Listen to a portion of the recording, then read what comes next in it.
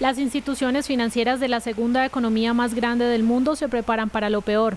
Nerviosos por el posible impago de pasivos de más de 305 mil millones de dólares o el 2% del PIB chino, los inversionistas del gigante Evergrande arrastraron el lunes las acciones de Hong Kong a mínimos de un año y el título del grupo a su nivel más bajo en una década.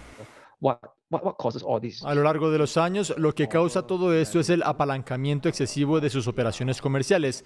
Eso significa que obtuvieron más financiamiento del que realmente podían cubrir.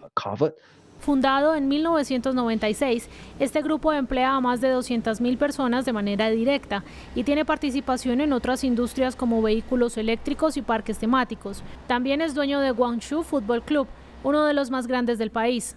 En su momento, su fundador Xu Yajing llegó a ser el hombre más rico del mundo, según la revista Forbes.